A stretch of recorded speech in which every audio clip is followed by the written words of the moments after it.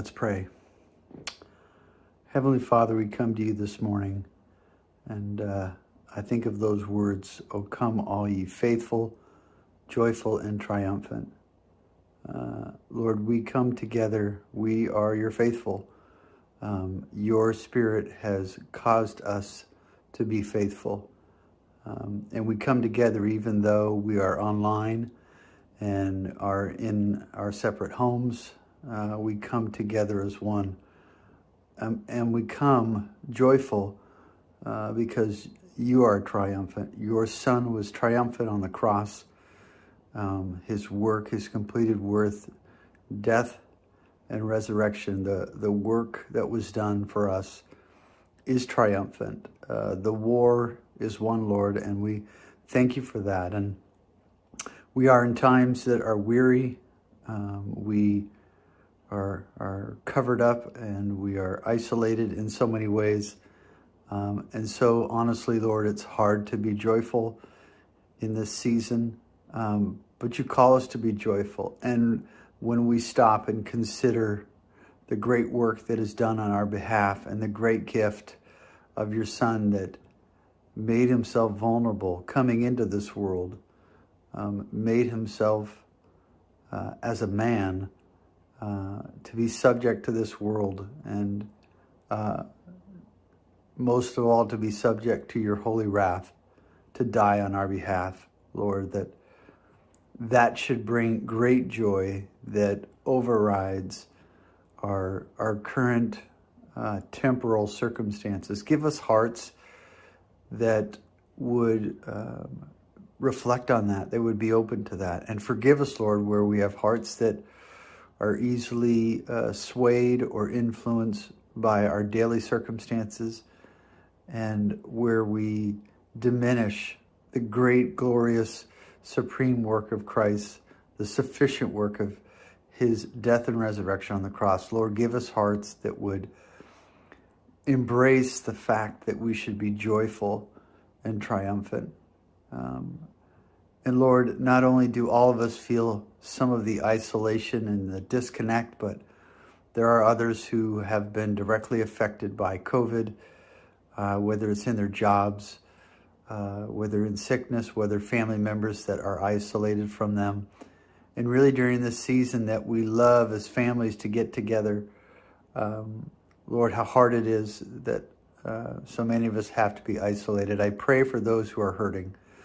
I pray for those who are struggling, whether it's cancer has inflicted their body, whether uh, they're they're struggling with COVID directly, or loved ones are.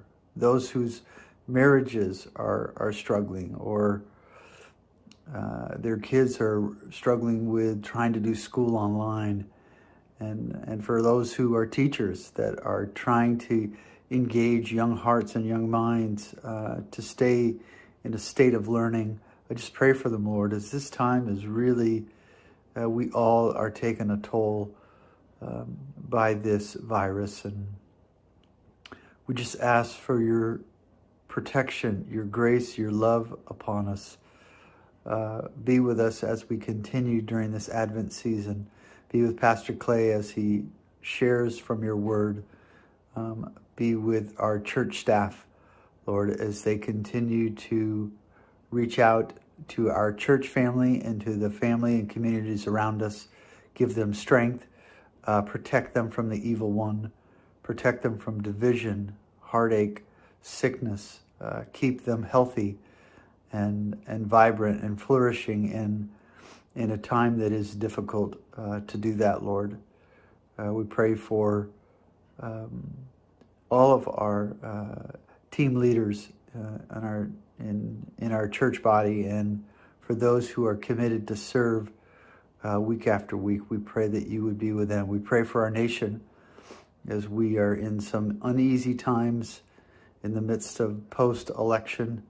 We just we know, Lord, that uh, that you um, orchestrate who's going to be in leadership and in government. And we pray that they do your bidding, that they do your work. Uh, we pray your work of um, salvation across this land, that many would in these difficult times come to know you as Lord and Savior.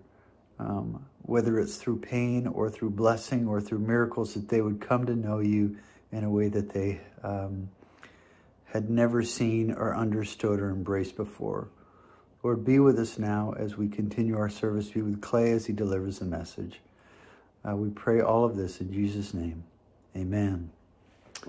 Well, good morning, and uh, we are glad that you can join us, um, even on video, and because um, it's hard, I know, to be isolated in your home from everybody and not to have the fellowship, but we're glad you could make it even in this version. Um, we are celebrating communion next week, and so today we uh, would like you to uh, prepare your hearts this week, really. And so I'd like to share a little, a few thoughts on that. I, you know, in this COVID season where we wear a mask, a protective covering, and and we're isolating in our homes, uh, whether it's uh, quarantining or just staying safe. Um, I'm reminded of uh, the story in Exodus where God is intending to free the Israelites from Pharaoh and the Egyptians, and um, and he instructs the Israelites to take a unblemished lamb and the blood of the lamb and to put it on the doorposts of, of the doorway uh, on the sides and the covering on the top so that the, the blood would cover over their homes, protecting them um, from the Spirit of the Lord who was coming to exact judgment on Pharaoh um, and the Egyptians for enslaving his people, and and uh, that every family uh, that did not have blood covering would suffer the wrath of God's judgment. And and uh, not only were the Israelites instructed to have that covering over their home, but they were instructed to stay in their homes until morning, uh, so as to stay safe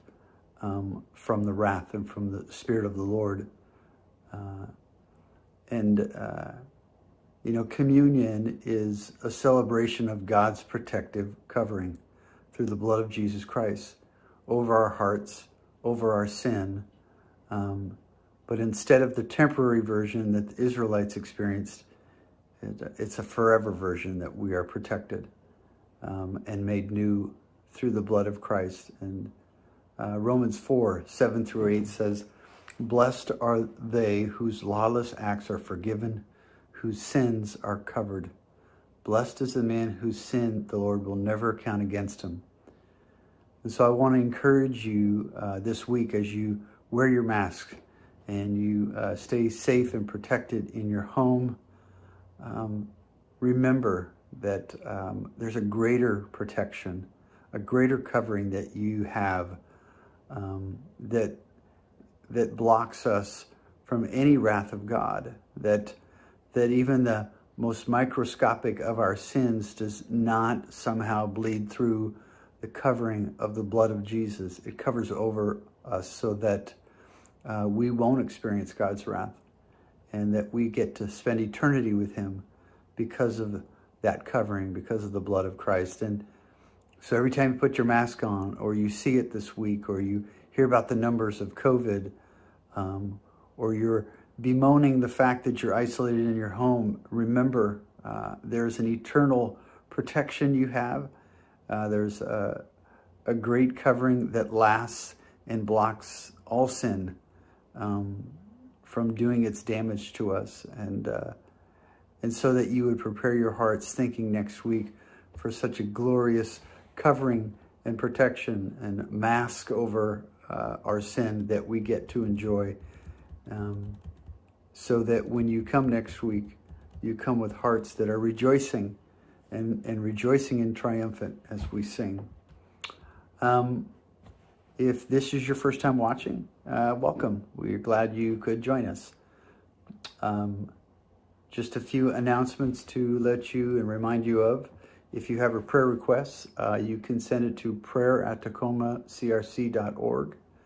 Um, and please let us know if, if the request is a public or private. Private requests will be sent to the prayer chain, and public requests will be sent to our prayer team. Uh, adult Sunday school class will be available here on YouTube uh, by 8 o'clock each Sunday morning. Um, and so we're continuing this morning Discipleship 101. And, um, and so we just wanted to uh, invite you and encourage you to watch that. You can watch that on YouTube. Um, today's offering is for the general fund, and um, just to remind you that uh, offerings can be done um, either donations for the general fund offering today or the Christmas project can also be done via online uh, via our website um, on the Church Center app. Um, and just to let you know uh, a few upcoming um, service times. So we have Christmas Eve services. We are going to have a 5:30 and a 7 p.m. Uh, Christmas Eve service and the New Year's Eve uh, service will be 7 p.m. You can RSVP um, both of those services uh, the Monday before each service, basically. Uh, feel free to and uh, go ahead and RSVP as to which service on Christmas Eve and if you're going to be at the New Year's Eve service. Um, our Christmas project this year uh, is the Shelters for Haiti, and our ministry team um, is giving a great report. Um, we have basically the first of three weeks of giving, so we are hoping to raise uh, $25,000 to cover uh, seven shelters in Haiti to build those shelters. And uh, actually, in our first week, we have already raised $24,649. So praise the Lord for that amount already. Um, but you know, there is a greater need than just seven shelters in Haiti. And um, if you happen to hear Dave's announcement about uh, analogy of starfish, there are more starfish to throw back into the water to save. And so there are certainly more shelters to, to build. Um, and so, and each shelter costs about $3,500. So feel free, even though we've almost hit our mark of 25,000, please be encouraged to to give um, even above and beyond that because it would be uh, wonderful for us to be able to provide money for even more shelters if possible. So again, you can give uh, online for that as well. So um, I think that should do it. And on to Clay, and have a wonderful Sunday morning. Good morning and Merry Christmas. Today is the third Sunday of Advent, and on this day we light the candle of joy, rejoicing in the birth of our Savior Jesus Christ, and rejoicing that we know He will return. This is profoundly good news, but sometimes even good news can be scary. Maybe the good news is your graduation. After years of study and reading and, and papers and projects, you finally have accomplished your task. You walk across that stage to receive that diploma with your head held high, soaking in the pride of your parents, the pride of your teachers, and even the pride you have of yourself. You toss your cap triumphantly, but when the fanfare ceases, you wonder, what now? How will I take on my next journey without the safety net of the friends, parents, and teachers that I have become so comfortable with? Maybe you received the good news that you got the job. Of all the candidates who applied, the company chose you. You are excited and encouraged, but also maybe a little nervous. This job will be a challenge. On the outside, you smile and you say, Thank you for this awesome opportunity. But inside, you're asking yourself, Can I do it? Will I let the company down? Did I oversell my abilities? Maybe it's a proposal. And you feel so loved because they want to marry you. You are the apple of someone's eye. And that same thought also terrifies you. Will I be a good husband? A good wife? Will I make a will we make a good life together? Will it last? Or maybe you just received the news that you're going to be a mother or a father and emotions flood over you. There is this deep inward joy that you and your spouse are going to raise a little one whose very flesh and bones are derived from your combined DNA.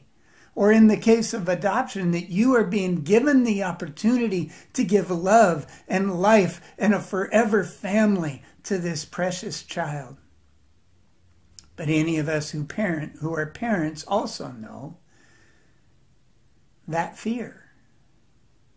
We know the pressure of this heavy responsibility. We want to do it right, but we know so little about how to do it right. So let those emotions, those mixed emotions, rest heavily in your heart. Feel them. Remember them. If you haven't experienced them yet, then imagine them and now multiply them.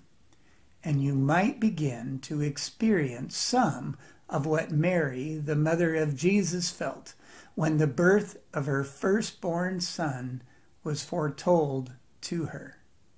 I want us to read Luke's account of the announcement that the angel Gabriel made to Mary. We're going to break this into three readings, and as we read each one, we will focus on one aspect of what is being foretold to Mary in this annunciation of the birth of Christ. The first is found in Luke chapter 1, verses 26 through 30. So please turn with me to Luke chapter 1, verses 26 through 30. It says, In the sixth month of Elizabeth's pregnancy, God sent the angel Gabriel to Nazareth, a town in Galilee, to a virgin pledged to be married to a man named Joseph, a descendant of David. The virgin's name was Mary. The angel went to her and said, Greetings, you who are highly favored. The Lord is with you. Mary was greatly troubled at his words and wondered what kind of greeting this might be. But the angel said to her, Do not be afraid, Mary. You have found favor with God. Okay, so let's try for just a moment to imagine if an angel had appeared to you. And not just any angel. This is Gabriel. He is the same angel that appeared to Daniel at least twice, giving him understanding and insight, and to announce the coming of the Messiah. This is the same angel that appeared to Zechariah the priest to announce the birth of John, who would serve as the one who would prepare the way for the Lord. It appears that Gabriel's job is to announce the Messiah. So imagine the trumpets, imagine the fanfare as the king is being announced by the angel Gabriel. That's what he does. He foretells the plan of God's redemption through the Messiah. And notice the first message that is foretold to Mary it is a foretold favor. Gabriel says, Greetings, you who are highly favored. The Lord is with you. There's two thoughts in this greeting that I want us to explore today. First, the greeting, you are highly favored. You who are full of grace, you who are chosen by God. The angel is telling Mary that she is chosen by God, like the great men of the Old Testament times had been chosen by God. So think Moses and the burning bush, or the voice of God calling Samuel three times, or Isaiah before the throne of God and the seraphim bringing him a hot coal to touch his lips. For those great men, those were life altering callings. And this is a life altering calling for Mary. Just like Moses, Samuel, and Isaiah. This young girl is being called to play a vital role in God's plan to bring redemption to the world. And that fact is not lost on her. We're told that Mary was greatly troubled by this greeting. The word means that she's confused, she's perplexed. It goes on to say that she wondered what kind of greeting this was. And that word, wondered, also means to argue. It, she is arguing in her mind about what this means. Why would God choose her? She isn't important. Unlike her relative Elizabeth, who is the wife of a priest, she has no influential status. She is from the small town of Nazareth in Galilee that Luke has to even inform his listeners is in Galilee because it is of such little importance. Can anything good come out of Nazareth? And here Gabriel says, God has chosen you. You are the one upon whom his favor rests. You are the one that I choose to carry out my plan. And the second thing I want you to notice in this greeting is Gabriel's statement, The Lord is with you. This statement isn't a wish or even a blessing, it is an assurance. An assurance of the reality of this situation. He's saying, Do not be afraid, Mary. You have the power to do this because the Lord is with you. I can understand why Mary is troubled by this greeting. Don't you? Haven't you, at some point in your life, been asked to take responsibility for something that you didn't know how you were going to accomplish? You have more in common with Mary than you might think at first. Hear this greeting for yourself. Greetings, my children, you who are highly favored, you who I have chosen to proclaim the good news of my kingdom. Go and make disciples of all nations, baptizing them in the name of the Father and of the Son and of the Holy Spirit, and teach them to obey everything I have commanded. And do not be afraid for God is with you to the very ends of the age. We look at Mary and we are amazed that God would choose such a humble young girl. But how often do we forget that He has also chosen us? Please understand that as a believer in Christ, you too are favored by God. He didn't make a mistake in choosing you. He has a plan upon he has placed upon you an incredible responsibility to proclaim the gospel. This is his plan, so don't be afraid. God is with you. Now join me with reading verses 31 through 35. The angel goes on to say, You will conceive and give birth to a son and you are to call him Jesus. He will be great and will be called the Son of the Most High. The Lord God will give him the throne of his father David, and he will reign over Jacob's descendants forever. His kingdom will never end. How will this be? Mary asked the angel, since I am a virgin. The angel answered, The Holy Spirit will come on you, and the power of the Most High will overshadow you. So the Holy One to be born will be called the Son of God. At this point, Gabriel gets down to the reason for his visit. In the Old Testament, when God called Moses, he told him that he would set his people free from the clutches of Pharaoh. And he told Abraham that he would give him a land flowing with milk and honey, and that he would have many descendants, one of whom would be a blessing to the whole earth. He often told the prophets about what he had in store for the nation. He let them in on his plan, at least to a degree. And he does the same with Mary. He provides her with a foretold future. I find it fascinating here that Mary understood Gabriel's announcement to be something that would take place in the immediate future. She understood that this wasn't going to be later after she had married Joseph and that the two of them conceived a child. She asks the question, How can this be since I am a virgin? She's expecting this soon. She's not thinking it'll take place by natural means, but she is still puzzled with how it will take place. And the angel tells her some of what her future holds. The Holy Spirit will come on you, and the power of the Most High will overshadow you, and you will conceive a child. You will give birth to a child. This child will be God's son, not Joseph's. But notice that the future that Gabriel was most interested in proclaiming, at least until Mary asked him how this was going to be accomplished, wasn't Mary's future.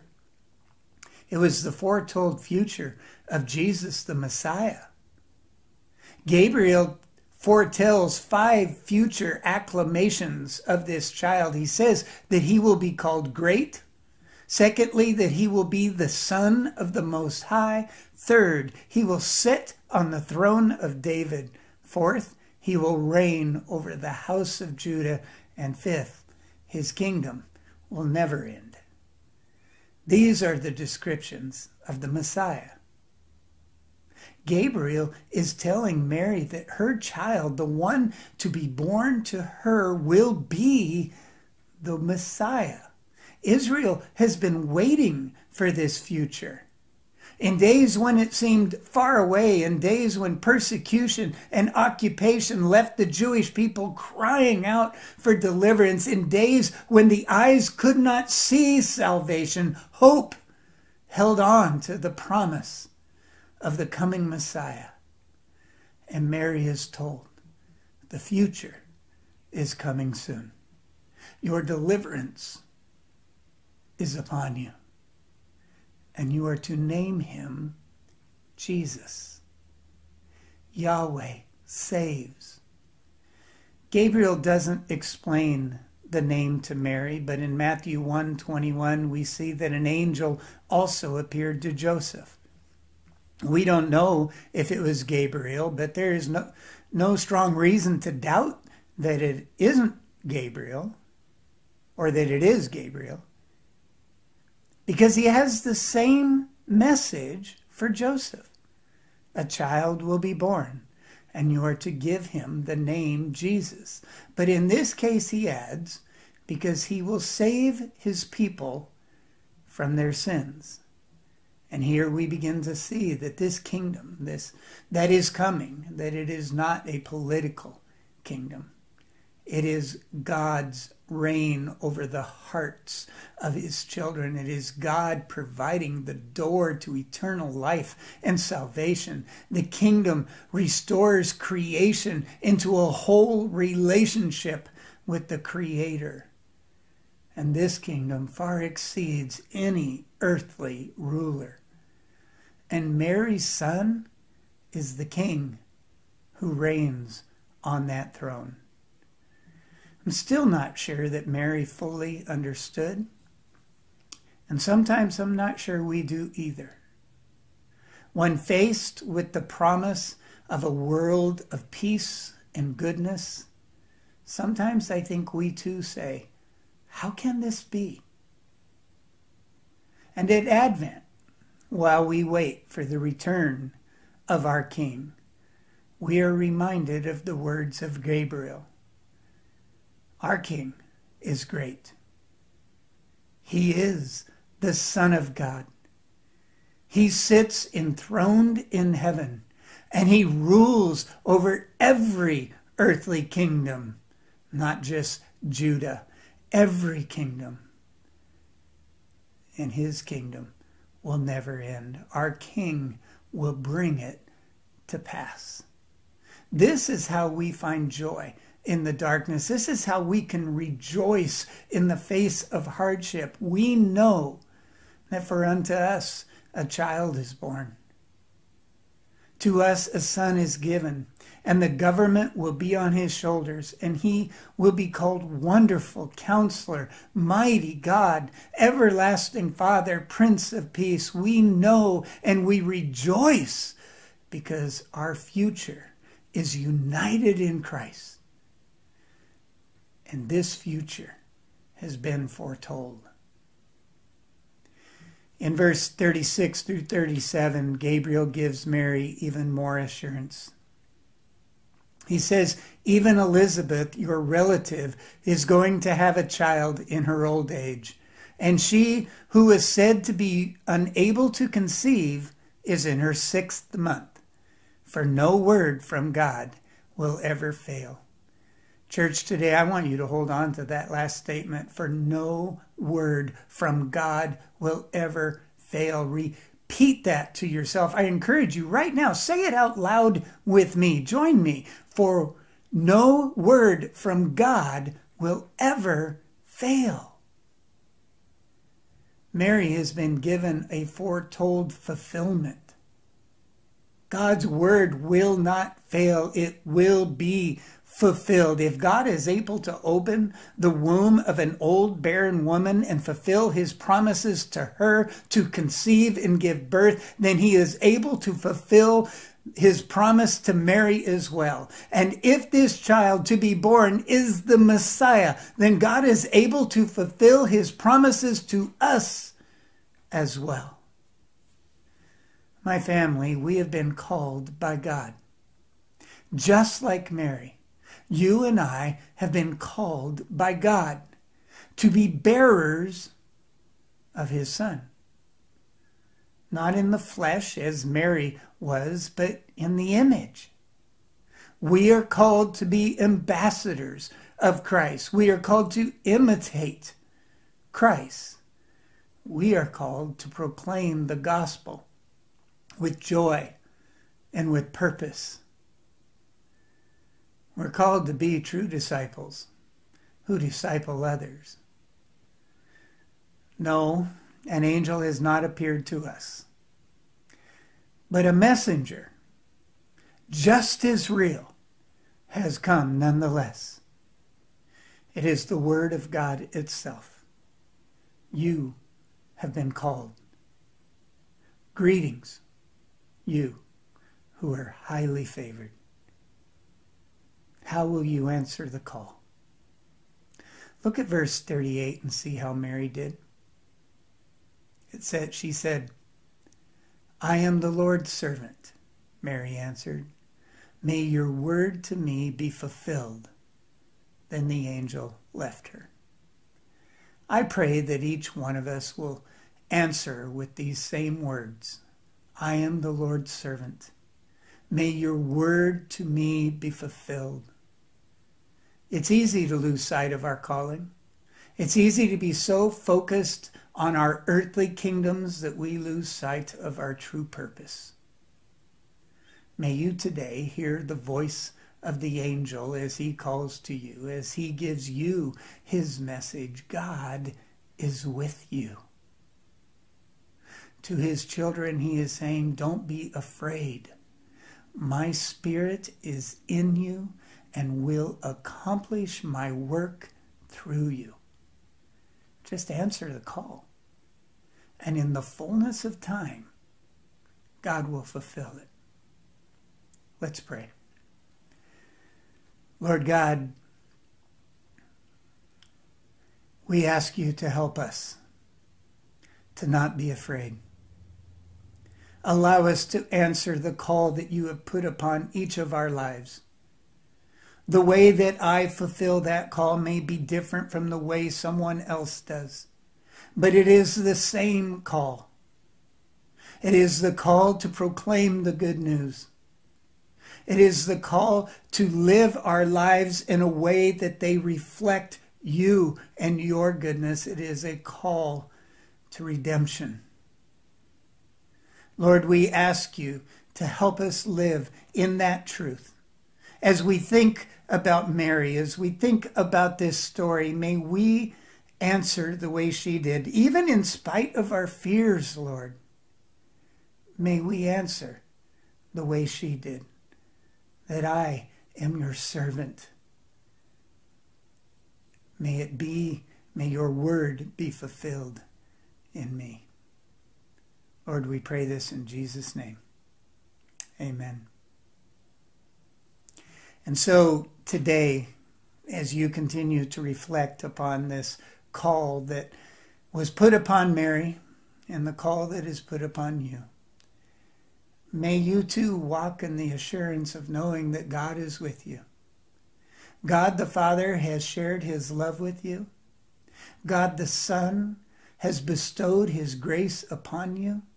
And God the Holy Spirit indwells you and empowers you to fulfill this call.